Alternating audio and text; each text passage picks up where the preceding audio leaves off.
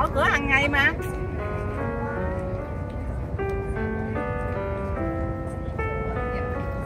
Bây giờ mình vô coi nha, vô trong cái nhà đó đó đọc cái cầm chị chờ chụp chị vài cái hình.